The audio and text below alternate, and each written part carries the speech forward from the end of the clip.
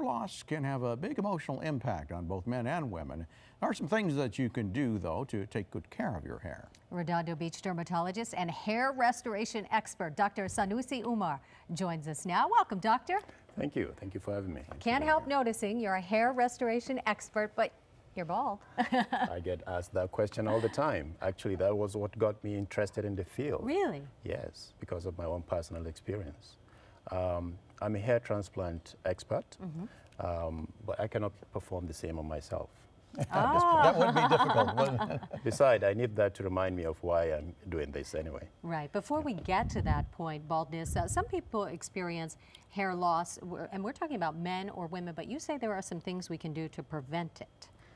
Exactly.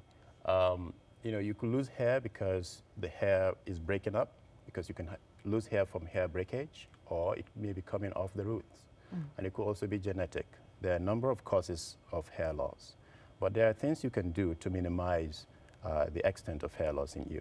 Starting with what you eat, right? Exactly. So for instance, uh, you need to you know, have a balanced diet, a good source of protein, a good source of vitamins, vitamin B, especially in biotin. This, for example, is a leafy spinach. Spinach is a good source of iron, which has been implicated in hair loss. It's also a good source of biotin, which mm -hmm. is very important in uh, maintaining good hair. Uh, broccoli also is in that uh, group. Um, if you, you need protein, a good source of protein, and salmon is particularly uh, good for uh, hair maintenance. It contains the essential uh, oil called uh, omega-3 mm, fatty acids, which you just mm -hmm. talked about. -huh. But um, it's also a, a, good thing to have for hair because the omega-3 contributes to the oil coating of the hair, which protects the hair from damage. And taking salmon is a good way to go for that. Now for patients who, uh, people that cannot take meat or fish, beans is a very good uh, source of protein as well. Okay. Vegetarian protein. So you have some vitamins too. Exactly. So if you, because of dietary restrictions or for some other reason, cannot get your good amount of vitamins from the food you eat, then it's recommended that you take the supplements. For instance, vitamin B12, here you have uh, biotin, biotin, which uh, is a very uh, very available, and uh, you know you can you can you can take that by way of pills. Uh, also, in California, because of the sun exposure, mm -hmm. and this is something people don't pay much attention to, and we're in summer right now. The ultraviolet rays of the sun. That can make your hair fall out? Exactly. Really? Yes. What it does, it, it damages that protective oil, oil coating of the hair. Mm. It dries it out, it makes it lose its luster, and eventually it leads to breakage. Wow. Obviously, you know that so sunburned hair doesn't look put good. Put a hat on it. Exactly. this hair, wide brim hat is good. You can take your uh, baseball hats, you know, that's a good way to protect yourself from that. Dave likes that. Exactly. If you're a Dodger fan. exactly, if you're a Dodger fan. Uh, another thing is these days we have um, hair conditioners that have um, sunscreen, sunscreens in them. And you have hairsprays also that do that.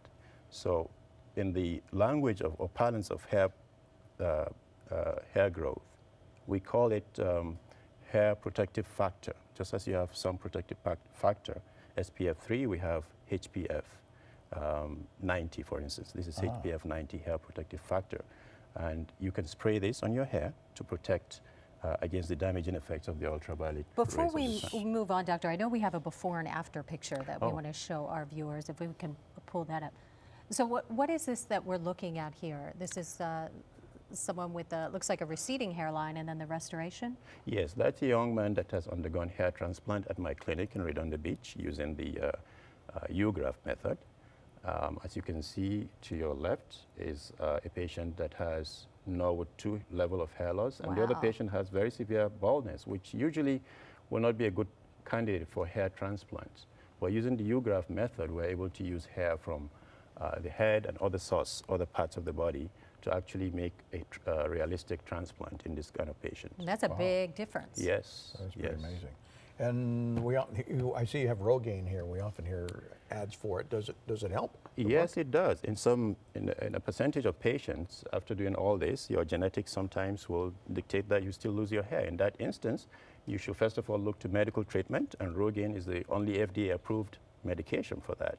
uh, topical FDA-approved medication. There's a pill called uh, Uh, uh, propecia that people take. Right. But Rogaine works. It works in probably about 30% of patients. For most patients, it will stem the tide of the mm-hmm. hair loss for most patients that take it. And in a small percentage of patients, there will be actual new hair growth Very in those good. Right. patients. Interesting. So you have that for women and, uh, And one for and men the as well. men Dr. as well. Umar, thank you so You're much. very We welcome. appreciate you coming in. For more